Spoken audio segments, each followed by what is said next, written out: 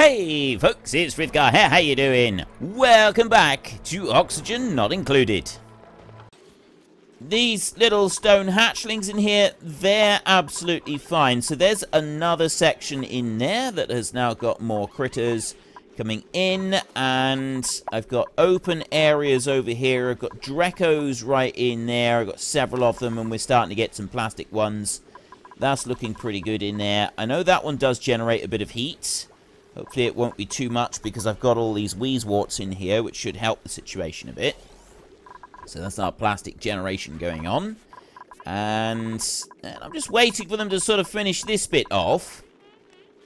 And that way, once they've done the new cabling up round there, I will then be free... Right, actually, I want to get uh, deconstruct that ladder right there. I won't deconstruct any more ladder, but we can start just getting a little move on that. And tile here and here. Plus, I can put tile here and here. So that's going to be another critter patch right there. Now, I got to be careful that I don't overdo it with these critters, with the stone hatches. Because if you end up having too many of them, from my understanding of how all of this works, too many of them results in uh, another type of disaster. You know, you have too many critters in there and you end up like that they'll eat all of the stone. They, they will literally get through all the stone. Now, I know that I've got a lot of raw material here. The moment I think we're feeding them igneous rock. I've got 500 tons of igneous rock. I will just double check. We've got stone hatch and stone hatchling in here. I'm feeding them igneous rock. 500 tons of igneous rock. And I've got 600 tons of granite as well. But this many hatchlings, they will actually start to get through that quite quickly. So we're going to have to be a little bit careful with it going forward. We are going to have to just pay attention to what we're doing and make sure that we don't um, really mess this up. Now, the water in here is 30 degrees. It's 20... It's below 30 over on this side. I've got a lot of tropical fry eggs in under here, which is brilliant. It means that we've got a lot of tropical fries coming in. And the great thing about these is that this is now fully automated. I don't actually have to do anything whatsoever to maintain this farm in any way. You just wait for the tropical pacus to become... Uh, to die of old age. Right? The, I don't know why they're glum, though. Why are you glum? How, how do you... Uh, critters feeling down because its needs aren't being met. Produces less materials. I want them for... They're supposed to be producing dirt, aren't they? How do you... Like, he's overcrowded. There's too many critters in the room for him. Now, I, I don't know with fish tanks how are you're supposed to... Like, whether that actually counts as a farm or not. Can you put a grooming station in there for them? Does, does that, like, make them happy? I, I don't know very much about the fish. Goes under food. You've got an incubator, an egg cracker, a critter trap. The fish feeder Dispenses once per day. Critter feeder automatically dispenses. Releases Pacu back into the world. Doesn't seem to be anything else. There's a fish trap, and there's airborne critters. Like, you can actually make a farm, farming overlay, right there. Halted growth, growing. Oh no, that's plant farm room overlay right here. Now, I've got that is a stable, enables grooming station use. Greenhouse enables farm station. So this is a stable.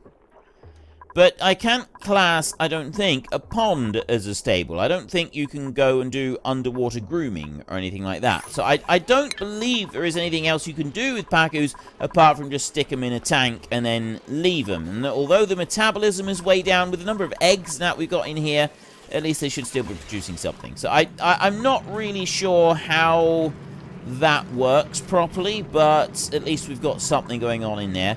Salt in here, we're starting to get quantities of salt, but the good thing about this is that one's now working flat out. That one's actually, like, fully lodged up. I've got sand has gone in here where it's um, just kind of filled that up a little bit too much. Uh, it's, it's the sand comes from the polluted water. Whenever you you have polluted water and that gets turned into steam. So know that we've got a bit coming in here and we're using up some of the temperature, but without having it sort of exiting here now. It does come into this room, but it doesn't very much. I think that's kind of achieving a balance. I just need them to come in here and clean that off. I might get them to do that. Get them to just dig those two bits off there. And then that, that that's doing fine. So there's my Pacu, my um Pacu, my, my hatchling farm is going well there. And up here, I've dug out most of what I need on this bit, so I can start getting the grooming station and stuff like that going in here. So put another one into there, and I'll take you, and I'll copy that one, and I'll go to you, and I will copy that one onto there. And it won't count yet because it's not a, it's an unsealed door, so uh, it, it, won't actually class as anything just yet, but it's it's on its way to being yet another farm. I mean, you don't have to have them as farms. I think it's just if they're farms, it, it makes it more comfortable for them. So I want corner moldings. I'm going to put a corner molding in there, and I'm going to put one up there. And then I'm going to rotate that round. I'm going to put one on that side, and I'm going to put one on that side as well. And then I'm going to take crown moldings. put them all the way across there. And I'm going to put them all the way across there as well. Right. So far, so good. Just waiting on bits to be dug out and, and other bits to be done. And then we also have this area up here, but I'm going to just leave that for a minute. I'm not going to worry about that just yet. Uh, I've got iron being processed over here, which is using up power. I'd rather they used up the power on that one. I've done... I said that to 99, so I've actually done quite a few. I've got 650 kilos of glass up there. How much glass do I get in a cycle? Look in here. 20. I get 25 kilos of glass in a cycle. And I got 650 kilos of it up there. And then if I go to power and I go to a solar panel right here, this takes 200 kilos of glass to actually build. Uh, well, that was quite a big beastie, isn't it? Right. Okay, so it, I mean, the solar panel is quite big. We want that to be exposed to space, and there's other things that we're going to want to be able to get that one to work. There was one other thing that I wanted, and uh, utility, uh, automation.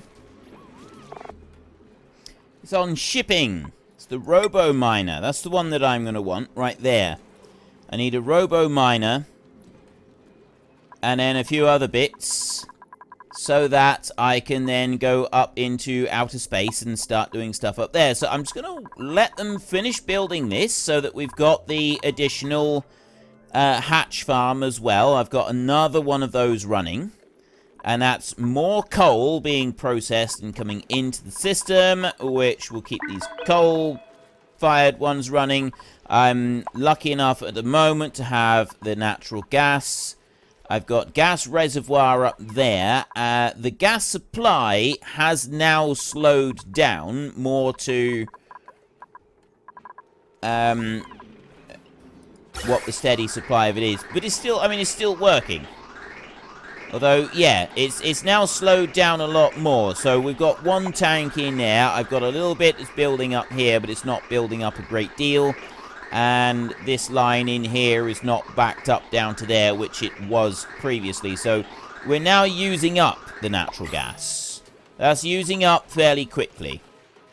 Don't know how long it's going to be before it's completely used up, but it, it is now starting to use up. Uh, sand in here. This one's still going. I've got right there glass. I've got 725 kilos of glass. Now this is brilliant. I love how much glass that I've already accumulated. I need quite a bit. I don't like how long it takes for it to do it. His, his little glowy light right there that he had. I think that's a good sign, isn't it? Pretty sure it's a good sign. Uh, how have I got glass in there?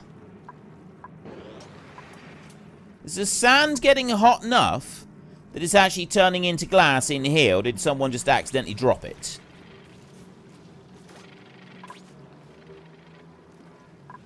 Now, that's curious. That is very, very curious. How have I ended up with glass in there? Not really sure about that. I'm I'm gonna say that maybe it was accidentally dropped in there. I mean, maybe the sand got hot enough with the volcano that it actually melted it, but I, I don't know. I genuinely don't know about that. Okay, this has been running, and you are dormant for another 18 cycles. So I'm going to... I'm actually going to switch that one off now. I think we've got enough water in there. So I'm going to go back to you and we'll disable that pump down there. And we can have that one switched off for a little while. Because it's still pumping water all the way up here and into the system in here. So kind of, I don't want too much water going in here. That's going to end up causing me problems. It's going to sort of, it's going to end up overdoing it. It's going quite slow. I mean, uh, the people are outside. They're busy doing other errands. They're running around doing extra things. The glass has gone up to 800 kilos. I'm, I'm still going strong on there. I think even though I've got that bit working, I think really I ought to go in here and start getting the whole um, next round of spacesuits ready in here. That's pure salt in there. Pure salt. I don't really know what you use salt for, though. I know that, like, that there is some things that you use salt for, but I'm not fully, like, clued up on exactly what it would all be for. Don't know. Right, anyway. Uh, station. Atmos suit checkpoint. Right. The suit has to go on the correct side of the checkpoint. So if I want a suit in this system here, I'm going to actually have to make this a bit bigger. I can put that one right up against there if I want to. Or I can put it against over here, but they don't go in here, grab a suit, and then come back out again. That's not how that works. So I could actually just get rid of this. And I'll turn this into a bit of new base. So we will go tile right there. And I'll take that up. And I'll seal that in completely. And I will dig that bit out right there. And then I will go for deconstruction on that bit. And I will deconstruct that bit. And then I'm going to put some base in here. Tile and tile like that. I don't need any more base to go in. We've got a suit out on that side. Base, ladder, that's going to go up to there like that. And that one there is going to be a door that we're going to build. It's going to be a manual airlock. That's going to go in there. Uh, so that one we'll eventually get rid of. Now, they shouldn't be coming through with any suits. Right? We we need them to leave the suits there and not come up round the outside and do any suits. We need them to come up on the inside and do this. Then they can put their suit on here. And then after they've done that, then they can sort of run away again, and that will be absolutely fine and tickety-boo. I just need them to come in here and actually do this little bit of digging. If I could get them to prioritize that one and that one, that would be great. Just build those in and stop anybody coming from the outside into this bit. Then the rest of that, in order for them to actually, in order for them to access that, I, they can access it from underneath. I'm just going to have to temporarily build a raised platform on here, which is easy enough to do. I'll just do that. So there's a temporary raised platform.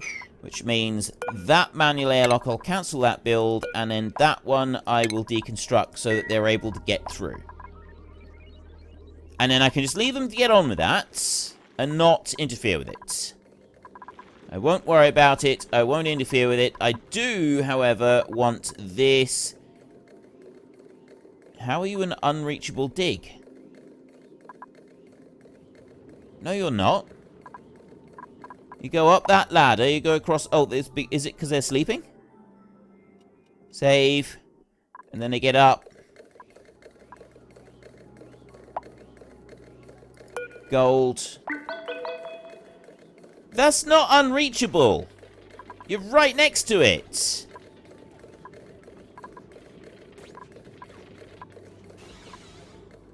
None of it's unreachable. Like, I've, I've got, like, the, Oh, no, they come up there and they go across and they go up there. That ladder in there is no longer needed. I can actually get rid of that one, so we will just get them to remove that bit. And that ladder right there, I can deconstruct that one as well. We get rid of that bit. So don't actually need that on there. Uh, they don't come across here. I mean, that one I will just move up a little bit, and then I got room for another another section in here. We'll go to you and copy those settings. No, I won't. I'm not going to copy those settings yet. I will take this one, and I'll copy the settings, and I'll put it onto that one.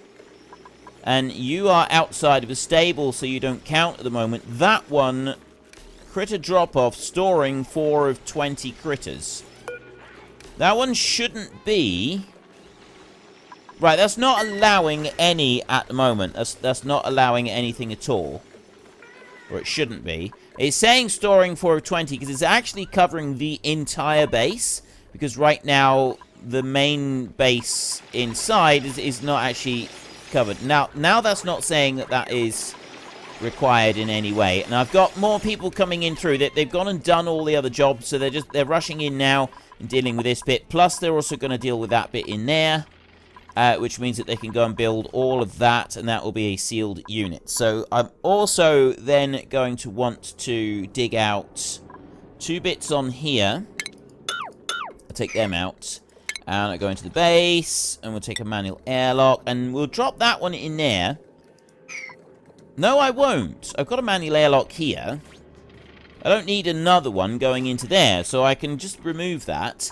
And that ladder, I will be removing, but I won't do that yet. So I'll get rid of those two there, and then we will go with stations, Atmos suit checkpoint. So that one needs to be that way round, and it's going to go at that end, and then they'll go on the ladder, and they will go up from here.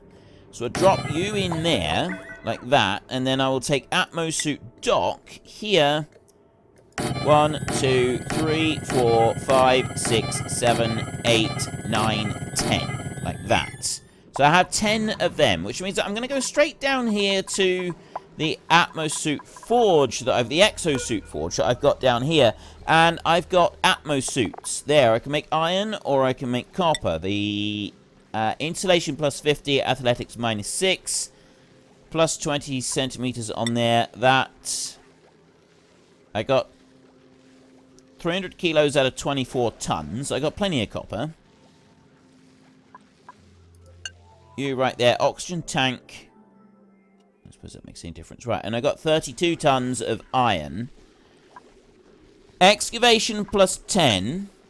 These are both the same. Scalding threshold is plus 720 degrees. They're both the same. I got 24 tons, I got 32 tons. I'm going to take the copper because that's the one that I'll be using the least elsewhere, I think. And I want to make 10 suits now. Like that. There, so I've now got demands to go and build 10 suits. And someone is already in here, and they're going to start going and doing that. At least I'm hoping they are. There's the heavy watt conductive wire. So very, very nearly almost done on this. That They're quickly removing the rest of the items on there. We've got that little build that needs to be completed on here. And then we're going to need to be able to get power running into those. Now, each of these Atmos suit docks I've made all of the Atmosuit docks in iron, haven't I? Yeah, alright, you know, that doesn't matter, that's fine.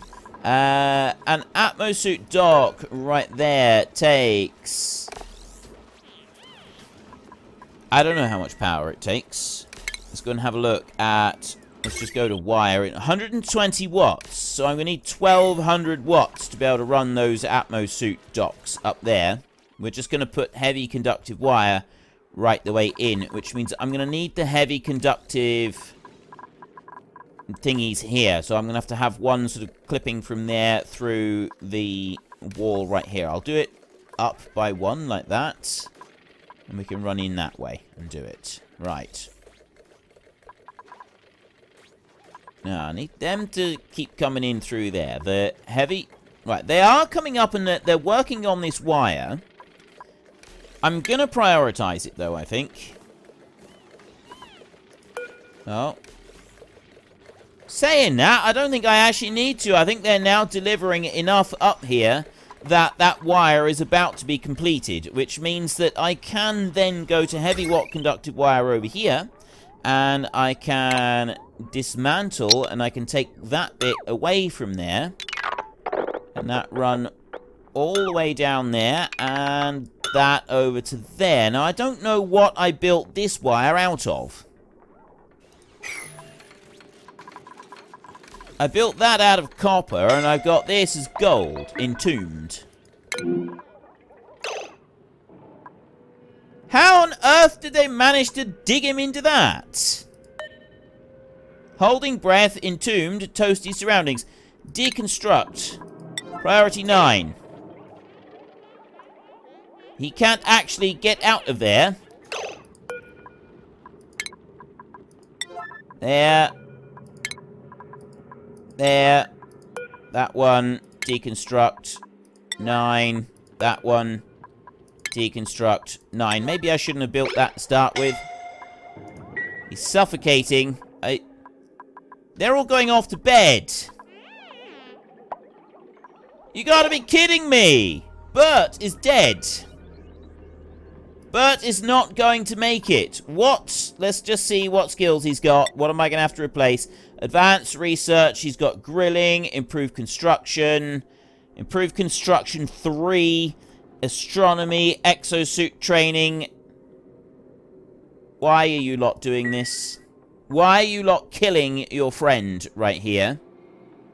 Schedule.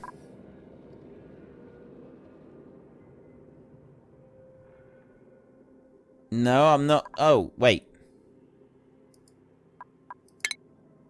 Default assigned. A night owl, all attributes plus three at night. Some people work better at night. I've been told about this. Like, if I have them working at night, they actually work better at night time than they do during the daytime.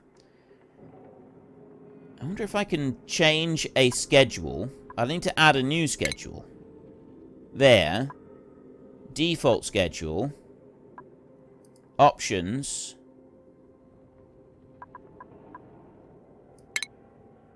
Bedtime. Use bedtime shifts to rest up.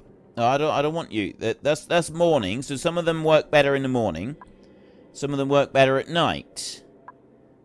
So I want work there.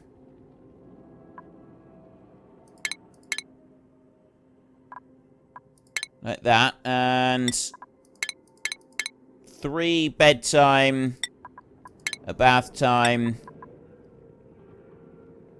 No, wait, bath time needs to go there. And then a, a downtime goes there, like that. So they've got exactly the same as the other ones have got. So now I've got this one here, and I'll rename this one to earlier night. Earlier night, like that. And then anyone that has got these signs on them... Downtime morale plus one. Right, earlier night. There, anyone that has got the sunshine or the early night. Yeah. All attributes plus two in the morning. And then they'll, they'll sleep during the middle of the day. So there's none of the others have got that. Right, we'll do that. That's to start with. And this bit up here, I'm now going to go priority. That. Top priority. Dig those out. And we'll see if they... They're not going to get to him. He's already dead.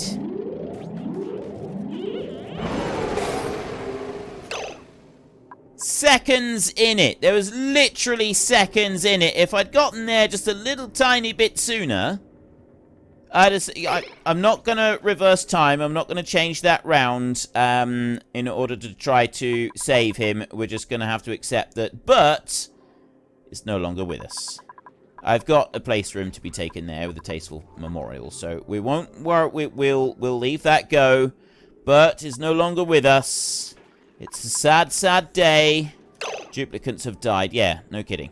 Um, now, I am going to want to get some more research done at some point. I've got pathogen stuff up here. I've got catalytics here, oxylite refinery, soda fountain, and a molecular forge for making some rare materials. Then we've got jet suits, jet suit docks, uh, glass blowing for making um, nice things, parallel automation. Let's get some automation going. We'll get that one going in there, shall we? That, that one will uh, do quite nicely.